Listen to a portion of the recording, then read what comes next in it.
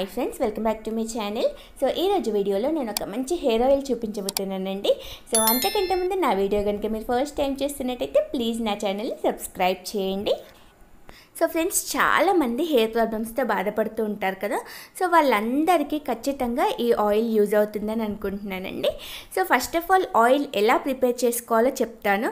తర్వాత ఆ ఆయిల్ ఎంతవరకు వర్క్ చేస్తుందో మీకు చూపించేస్తానండి.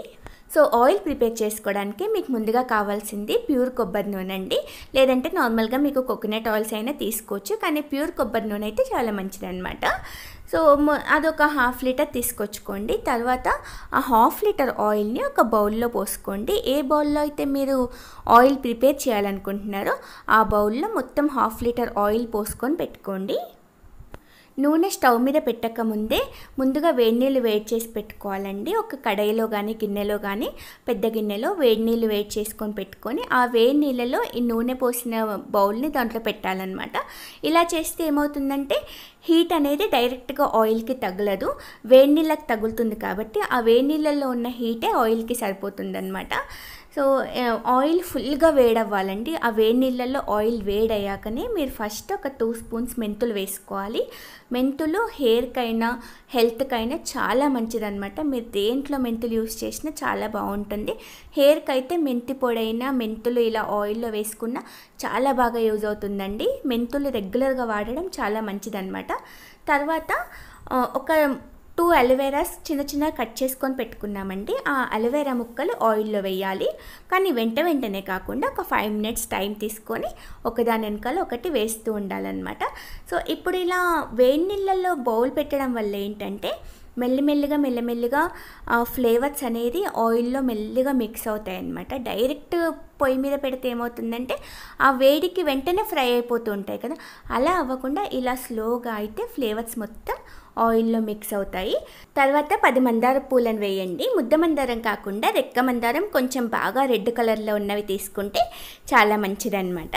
సో ఆ పూలని ఆయిల్లో స్లోగా వేస్తూ లైట్గా ఒక్కసారి కలపాలండి. తర్వాత కొంచెం పూలు కలర్ చేంజ్ అయినాయి కదా.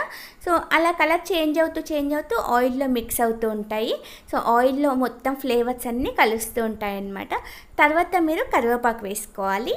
కరివేపాకును ఆయిల్లో వేసుకునేటప్పుడు సపరేట్గా కొలతంటూ ఏమీ లేదండి. మీకు ఎంత వీలైతే అంత కరివేపాకు ఆయిల్లో వేసుకోవచ్చు అనమాట కరివేపాకు కూడా చాలా మంచిది కదండి. కరివేపాకు కళ్ళకైనా హెయిర్కైనా చాలా మంచిది కదా.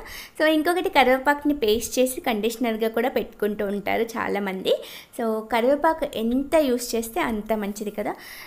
చూడండి కరివేపాకుని కూడా ఆయిల్లో వేసేసాము. ఆయిల్ చాలాసేపటి చాలాసేపు మసలాలండి. ఎందుకంటే మనం డైరెక్ట్గా పొయ్యి మీద పెట్టలేరు కాబట్టి వేడి నీళ్ళల్లో హీట్ అవ్వాలి కాబట్టి చాలాసేపు మసలాలన్నమాట. సో అన్నీ బాగా మసిలినాయండి. ఆయిల్లో చూడండి క్లియర్గా కనపడుతున్నాయి కదా. అన్నీ స్లో ఆయిల్లో మొత్తం మెత్తబడిపోయినాయి. తర్వాత ఆయిల్ని చల్లారి పెట్టుకోవాలి ఆయిల్ చల్లారిందండి. ఇప్పుడు ఒక గ్లాస్ జార్లో స్టోర్ చేసుకుంటున్నాము. నేను ఎందుకు ఈ ఆయిల్ అంత బాగా వర్క్ చేస్తుందని చెప్తున్నానంటే ఎప్పటి నుంచో మా తోటకోడలు ఈ ఆయిల్ ఇలా ప్రిపేర్ చేసుకొని తలకు అప్లై చేసుకుంటుంది. తన హెయిర్ చాలా బాగుంటుందండి. సో నేను కూడా ఈ మధ్యనే ఈ ఆయిల్ స్టార్ట్ చేశాను. మేబీ నాకు కూడా హెయిర్ ఇంప్రూవ్ అవుతుందేమో. తన హెయిర్ అయితే చాలా బాగుందనమాట సో ఈ టిప్ మీకు అందరికీ యూజ్ అవుతుందని తను ఆయిల్ ప్రిపేర్ చేస్తుంటే నేను వీడియో చేశాను. సో ఈ ఈ టిప్ మీ అందరికీ యూజ్ అవ్వాలని అనుకుంటున్నాను ఫ్రెండ్స్. ఇలాంటి గ్లాస్ జార్స్లో ఆయిల్ని స్టోర్ చేయడం వల్ల ఎక్కువ రోజులు నిలువ ఉంటుందండి. సో మనం ప్రిపేర్ చేసుకునేటప్పుడే ఎట్ ఏ టైం ఎక్కువ ఆయిల్ ప్రిపేర్ చేసుకోకుండా ఒక హాఫ్ లీటర్ హాఫ్ లీటర్ అలా ప్రిపేర్ చేసుకుంటే సరిపోతుందండి. ఎప్పటికప్పుడు ఫ్రెష్గా ఉంటుంది ఆయిల్. సో ఫ్రెండ్స్ ఈ వీడియో మీకు నచ్చితే ప్లీజ్ లైక్ చేయండి అండ్ సబ్స్క్రైబ్ చేయని వాళ్ళు ప్లీజ్ సబ్స్క్రైబ్ చేసి పక్కనే ఉన్న బెల్ ఐకాన్ని క్లిక్ చేయండి ఫ్రెండ్స్. సో ప్లీజ్ వీడియో నచ్చితే లైక్ చేయడం మాత్రం మర్చిపోవద్దండి. Thanks for watching.